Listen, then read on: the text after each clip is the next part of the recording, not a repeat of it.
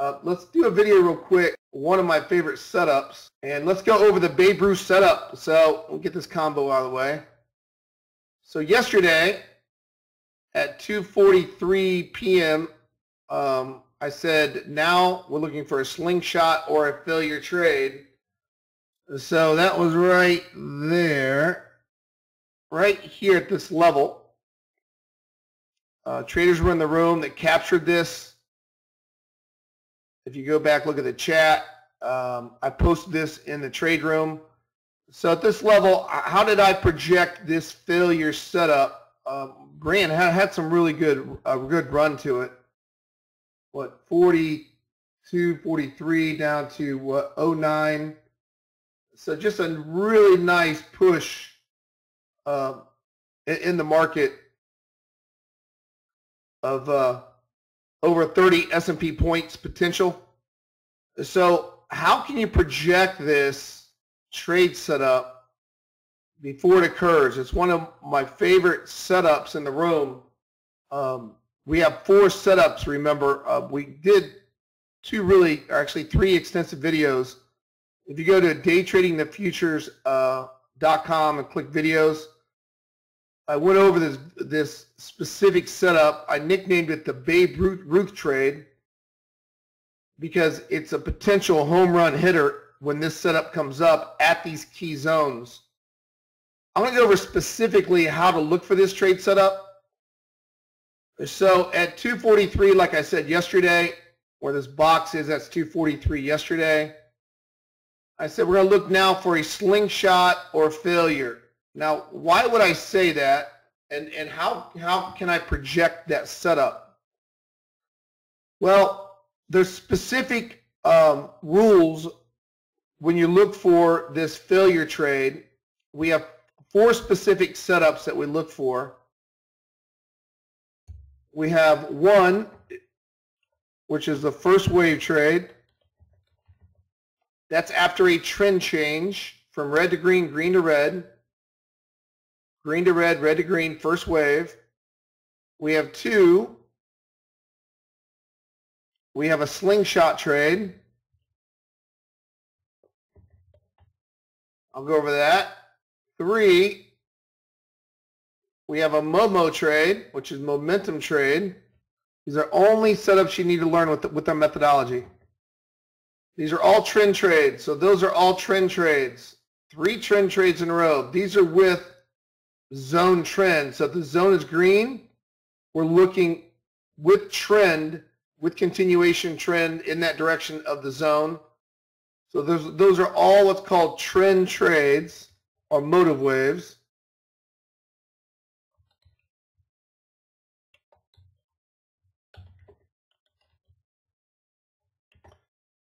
So those are the three trend trades you're going to learn in the trade room.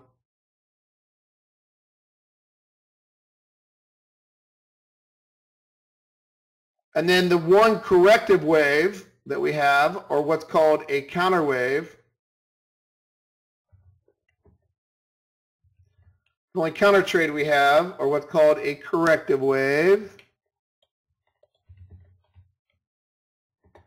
that is our failure trade. And that's number four. So these, these are four setups um, it doesn't matter what market you look at. Um, you can look at any futures market, um, really any stock, forex, currency, even works in the crypto market. These four setups continue to come up on a day-to-day -day basis and a week-to-week -week basis. And there's specific times when these like to come up. So those are our four top setups right there. We got the first wave, slingshot, Momo. These are all trend with zone trend. These zones are very, very important because they've been uh, back tested over a 30-year period. So we know the zones are very, very accurate for trend trading. We also know that with those, the first wave, slingshot, and Momo are the only setups we need to understand according to this methodology, to capture these moves on trend moves. And then we know that the counter wave is this failure trade. So let's go to the failure trade first. I'll sort of go backwards today because I need you to understand this Babe Ruth trade.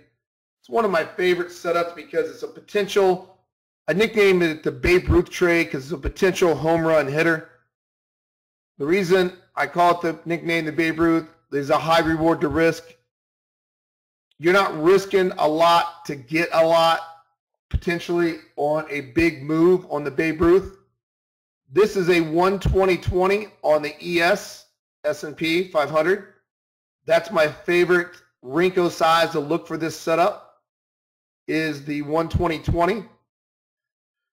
So when when I seen this market setting up for a failure, I posted in the trade room. I posted at 2:43 p.m. Now look for a slingshot or a failure.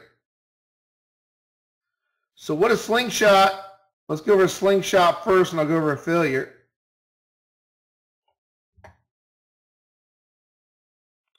A slingshot is when you have red zone, zones are red, market is moving down.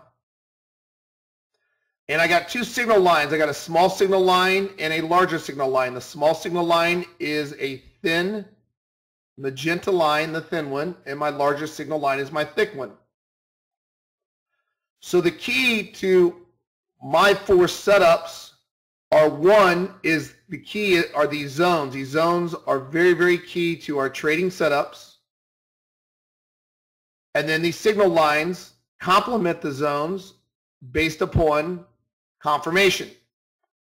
So if I am a red zone and I'm moving down and I'm red, which we were, a slingshot is where this small oscillator, the signal line, the small one, gets above 80 in a downtrend. 80 is this big red thick line, gets above 80 and comes back down and goes right down through my bull zone. My bull zone is categorized. These are my proprietary zones I came up with. My bull zone is categorized as between 40 and 20. That's my bull zone. So if I get above 80 and I shoot back down through that threshold of 40, 20, some traders like to let it go all the way down through to 20 for an entry. This is the bull zone. I want to break that bull zone. I want this oscillator to get up through 80, this red line, come back down through and shoot down through minimum 40. Some traders like to see it break through 20. It's another price bar that you're going to look for, another Renko bar. I like when it goes right through 40 for an entry. So that's called a slingshot trade. That's an entering off of a slingshot. You're letting the market get retrace, get into this retracement area above 80 and shooting back down through the bull zone. Your entry will be right when it breaks through 40. Some traders like to like to go through 20. This is the bull zone. You got to break through though the oscillator. All right, so that's called a slingshot. Well, what happens is is that these slingshots work very, very well with trend. I mean, you can see the one came over here also. They work great with my zone trend. I love slingshot trades because they are what's called full zone retracements. I call them FZR or slingshot trades, full zone retracement trades. All right? Because what they're doing is they're retracing fully into the zone or at the zone with trend, with overall trend. So what you're getting is you're getting a move here you're getting an oscillator that comes up through, comes up through 80. Once it comes up through 80, it gets into the zone. I'm not trend changing, I'm still red. And then as it comes back down, I want to break through my bull zone. Here's my bull zone. As soon as it breaks through that bull zone, you got yourself a short. So those are slingshot trades, okay?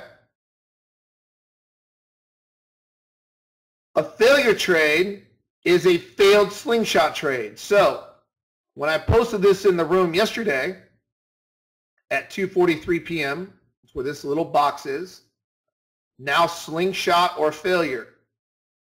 What I recognize is my zone was green.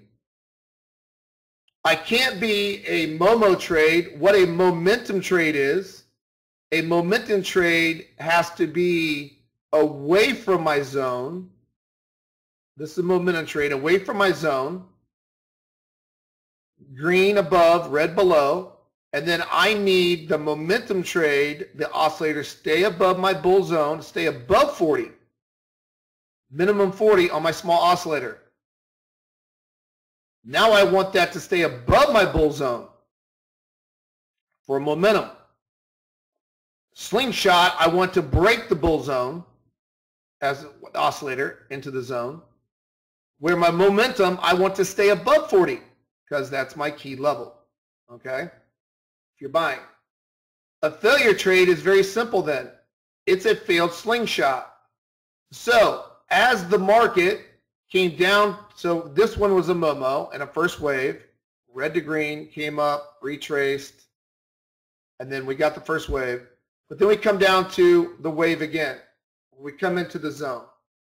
Well, I can't look for a first wave because it's already off the board. The first wave is red to green, green to red. And it's a first wave, meaning the first, looking for the first buy or sell setup. So it's not a first wave. Now remember, I only got four setups that are the market are the rhythm of the market during the day. Well, I only I, it's not a momentum because my oscillator it broke down through below bull bull zone of 40. So it's not a momentum trade. So we're not a momentum trade, so that's off the board. So I posted, we only had two trades left, and I walked through trades on Fridays um, where we're going to walk through trades from that 8.45 to 11 o'clock on all the trade subs like we did last Friday for some of you traders that want to see trade after trade after trade before they happen. So I only had two trade setups left. So 243 I posted, now slingshot or failure. I knew it wasn't a first wave because my first wave's red to green, and that's the first wave. I know it's not a momentum trade because my small oscillator broke the bull zone before it turned green. It broke right through it, right there, the oscillator. So then I got a possible slingshot. So I posted right here at that level. Here. That is a now slingshot or failure. Well, slingshot has to do what? That I just went over. A slingshot, that oscillator now for buys, for sells, it's got to go down through the bull zone right here.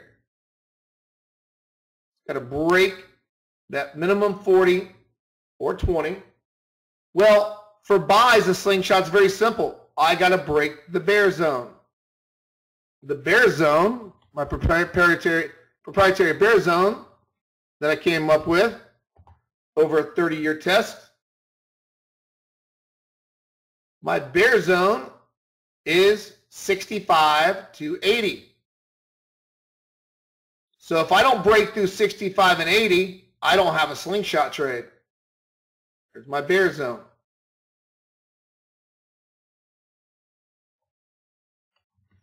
So if I don't break through that 65, 80, there's my bear zone. If I don't come up through here on this small thin oscillator and break through this threshold when I turn a green bar reversal right here, if I don't do that, then it's not a slingshot trade, which it wasn't. So now my slingshot's off the board. So now just process of elimination. Now I know I only got one trade left. And this is how I spot these failure trades. I've done it for weeks and weeks for you guys in the room. I show you how to look for this before it comes up. and these trades are not small. These trades could be high reward to risk trades. This was over 30 point S&P trade. I pointed out 20, 30, even pointed out a 50 point one before, before it happened. Because what if it's not a slingshot, then it's a failure. Now let's get into why, what's a failure trade then? A failure is a counter trade because it's against my key zone trend. But a failure can't happen unless I'm into my zone. That's why it works so well. Because it should be a slingshot. It should sling right out of here like this and continue down or continue up. So here's the key for a failure trade. One, or A, we'll call A. This is key.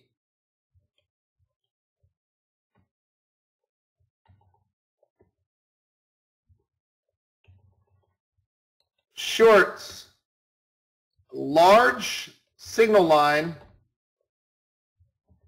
must be below 40, my bull zone. It has to be below 40. You cannot have a failure trade if this large oscillator is not below 40.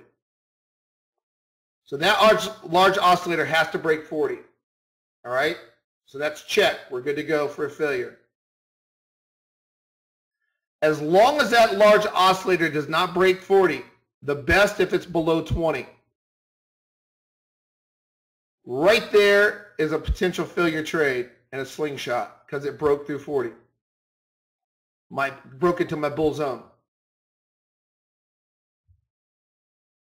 Once that breaks, because if it got rejected there and stopped at 40 and started going back up, you don't have a failure trade. But it started closing below 40. So when that happened at 243 here, I recognized one thing. I recognize I got a potential slingshot. My small oscillator is below 40, and my large oscillator is below 40. Well, I don't have a first wave. I don't have a Momo trade. I'm only left with now a slingshot or failure.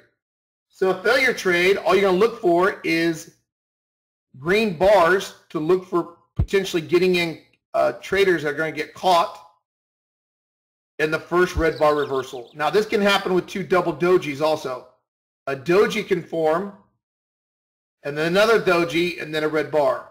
But that exact Renko bar, exactly this specific Renko bar is your short right there specifically this specific Renko bar to the exact bar, exactly to that bar. Your stop, give me two ticks above that swing high. And it all set up based upon what? My large oscillator got below my into my bull zone. And when I got a red bar, a green bar reversal in the zone, it a slingshot, a failed slingshot is a failure trade.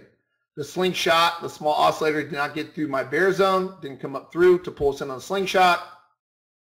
And what does that do? It pulls us in on a failure trade. Don't make it any more difficult than that. And these trades, a lot of you traders are really picking them up from the emails I'm getting, from the room chat that you are picking up. You guys are seeing these before they happen, and they are beautiful trades because these are high reward to risk trades. All right. So as we move through, remember a slingshot is this. So the first four steps are very simple. A first wave is going green to red and looking for that first retracement. That is a first wave setup right there because it turned green Renko right back to red. This consequently was a Momo setup because as long as that small oscillator stays below my bear zone of 65, which it did, stay below 20, which is even better. That's a short. That's a first wave Momo short combo. The slingshot, we could have looked for a failure trade here, but the slingshot, another setup, is when my small oscillator gets above 80, stays above 80, then it's got to come back down and it's got to break through my bull zone, a breakthrough 40. Right there's a short on another slingshot. That's potential 43 all the way down to 32. That was uh, a nice 9 or uh, 11 point trade just on a slingshot. 11 points. This is not trading for a half a half a, a, a you know three ticks, four ticks, five ticks. These are five, six, seven, eight, nine point trades sometimes. Even the slingshots was a nice one. And then you go into a Momo where you're below the bull, bull zone, bear zone, starting in the retracement, stays below my 65, and you get a Momo. So first wave into a Momo, into a slingshot, into a Momo, into a first wave momentum trade, right into a slingshot. Failed slingshot is your failure, and the market just falls apart. All right. Now, if we look this morning, this is live price action right now. What we what we're having is so live price action. What do we have? I went from red to green. So the first retracement into my key zone. And I love when price stays above my shallow zone. That means the price has momentum. And I love when failure trades come up and slingshot trades when you get into my deeper zone. So that's key also. I love seeing failure trades come in at this zone area, my deep zone. And I love seeing Momo trades and also first wave trades. Momo trades have to be away from price like this. Has to be above all my zones. But my sling, uh, my first wave, I like to see in the in the shallow zone. So what happens? I go red to green. So what do we have? We only have four trade setups in the room. This is a first wave trade slingshot combo. First wave slingshot combo. What happens is my four setups, they'll come together and they'll have combo deals where they come up, the same methodology comes up, the same price point in time. You get two of the same setup, uh, two different setups that come up at the same time. Because the first wave, red to green, there's my first red bars, red bars, red bars, first green reversal Renko. Look at my oscillator. Look at my thin oscillator. It goes below my small signal line, goes below 20. It has to go below 20 for buys for slingshots. Comes up, breaks through my bear zone. My bear zone is 65 to 80. There's my bear zone. And right when it crosses through that 65 is your entry or traders will let it cross through 80 for a potential blow-off rally. That'll be the high of the bar. That's 28. Right now we're sitting just under, what, 36, going on 38. We're at eight-point run right now in the S&P off that first wave slingshot. Then the market comes up. It retraces. It doesn't retrace in my zone. Momentum shows my large, if, if here's another tell also on momentum trades. If your large oscillator is staying above that 65 bear zone, that's really good. But your small oscillator here is a momentum trade here. If it stays above my bull zone of 40, this is my bull zone. It stayed above 40 when you got the arrow fired off there, and we're in this trade right now on a long. So there you have a momentum trade, a Momo. It's a Momo. It's a Momo setup. So you can see a slingshot buy is the opposite of slingshot shell. Slingshot shell sell, you want the small to get above 80, down through the bear's bull zone, and then you want the buy to get below 20 and get above that bear zone. Because the reason I call it the bull bear zone, you don't want to see this get rejected, guys, because this is where it fails. And this is how you, you, you find a failure is just a rejected slingshot trade. If this comes up, and this is why I gave you guys a big heads up, five minute heads up on this big 30 point potential run right there, is that you want the slingshot to come down into the zone and slingshot out of it. Right? That's what I did here. It came up to the zone, and it slingshot out of it. And we had a huge potential run on that slingshot. That slingshot was, what, 23 down to 09. So 13 S&P point run on that slingshot. But this failure, all it is, guys, is a failed slingshot. So one of these four setups are going to continually come up with price action over and over and over again each and every trading day in all these markets. You just, it's process of elimination. If it, if it turns red to green, green to red, like this trade right here, that's a first wave trade. And it could be a slingshot combo. It could be a first wave Momo combo where this small oscillator stays above my 40 bull zone and I get a slingshot trade. It could be a first wave slingshot trade or a first wave Momo trade combo. Or it could just be a first wave trade where it comes up, I get a small retracement, get a continuation. Right? So Friday, what we'll do is I'll go on Fridays, I'm going to go over, stay on the mic from right around 8.45. I'll get in at 8.15. We'll start looking at trades right after 8.30 all the way to 11 o'clock, and we'll go through every one of these trades until around 11, every single one before they happen. And I'll show you how this works on these four setups on a daily basis.